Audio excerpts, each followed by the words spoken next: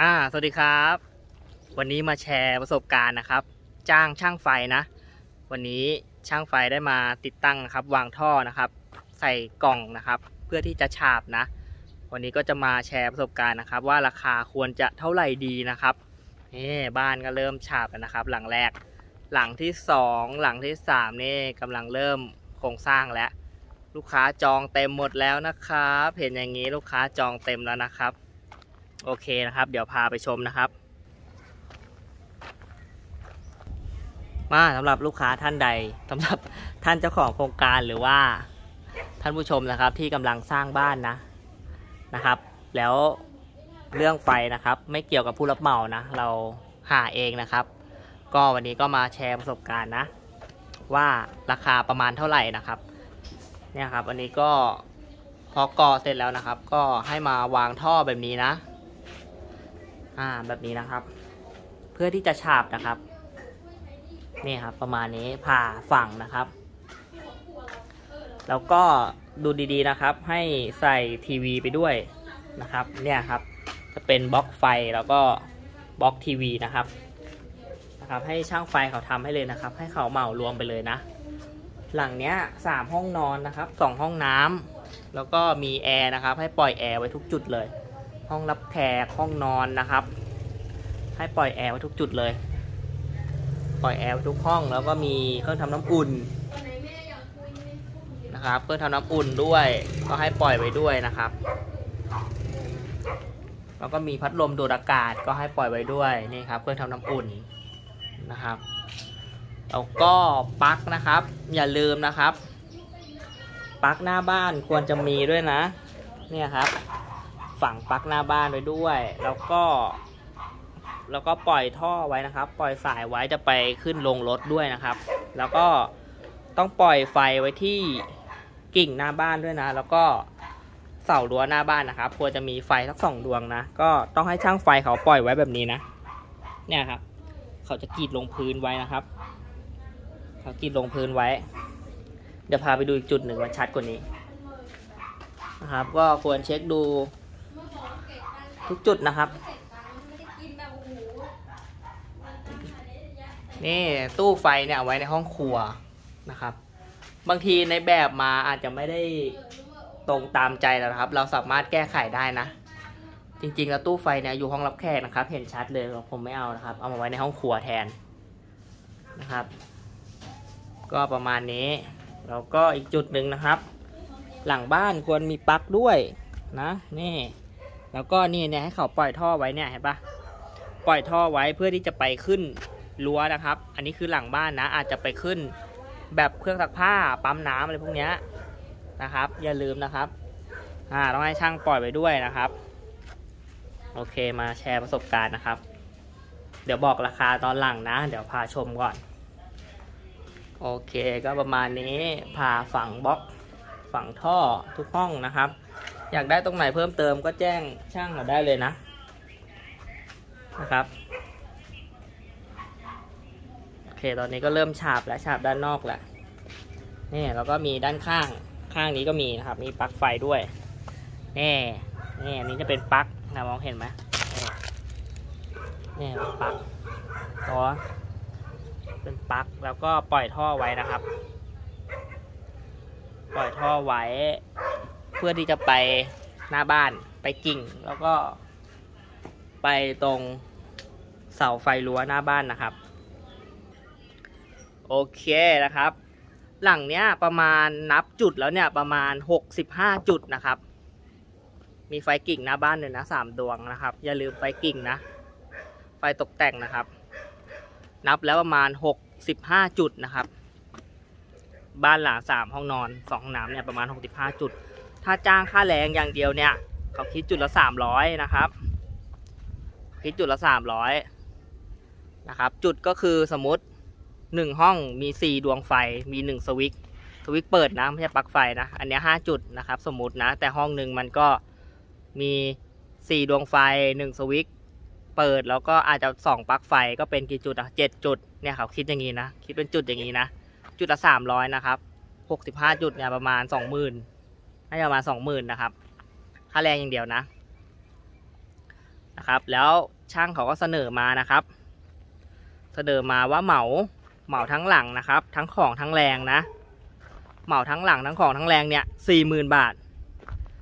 ไม่รวมดาวไลท์นะ ก็คือฝั่งท่อสายไฟตู้ แล้วก็ดึงเมนเข้าบ้านด้วยนะ อย่าลืมนะครับ ถ้าเราไม่เรามาจ้างที่หลังเนี่ย ดึงเมนจากเสาไฟเข้าบ้านเนี่ย น่าจะมีประมาณห้าพันอะสี่ห้าพันนะครับ ก็ให้ช่างเขาคิดทีเดียวเลยนะครับ มันจะได้ไม่บานปลายนะ อ่า ช่างเสนอราคามาที่สี่หมื่นบาทนะครับ มีสายไฟของเขาท่ออะไรของเขาหมดนะครับ ตู้ไฟของเขา รวมดึงเมนด้วยสายไฟดึงเมนของเขานะครับ เสนอมาสี่หมื่นบาท ไม่รวมไม่รวม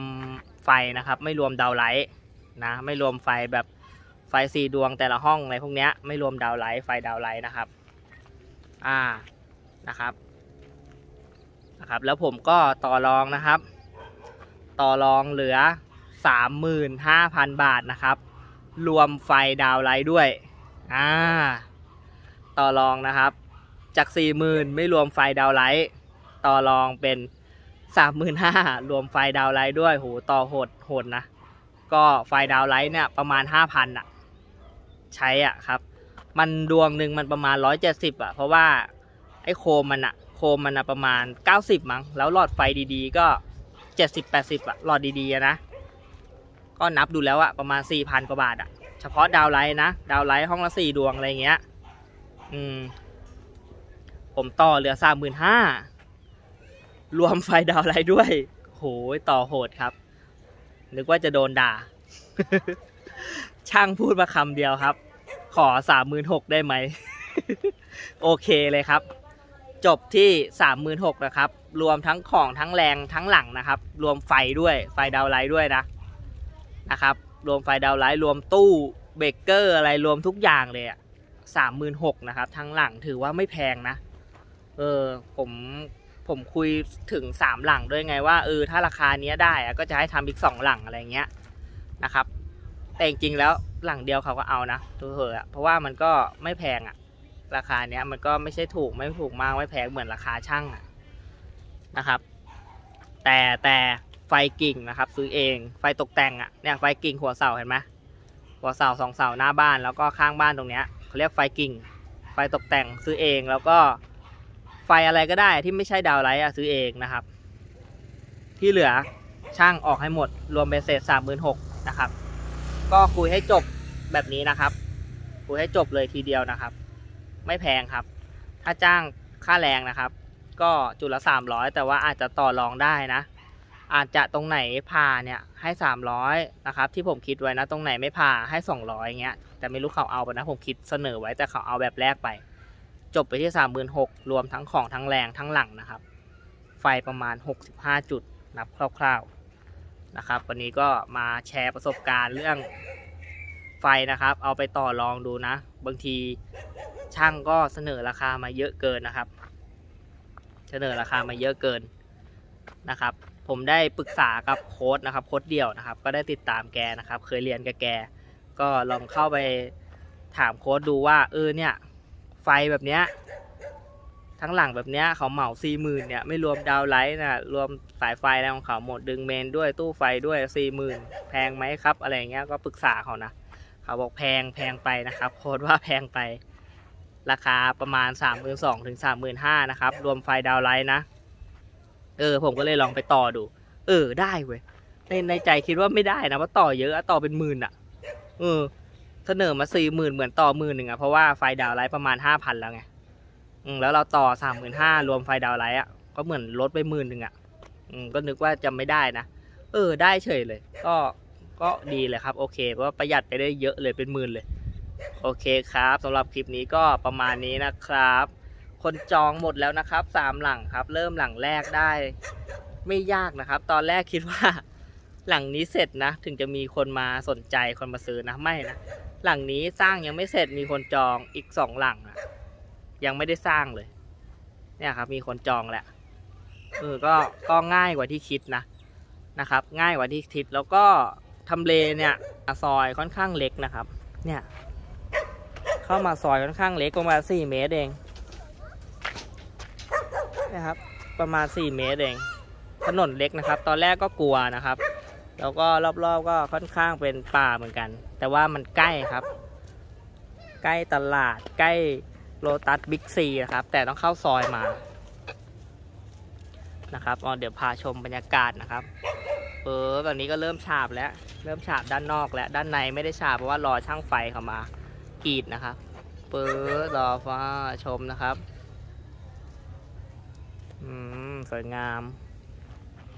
ไม่คิดว่าจะมีคนจองเต็มเร็วขนาดนี้นะครับ โอเคสำหรับวันนี้ก็ สวัสดีครับ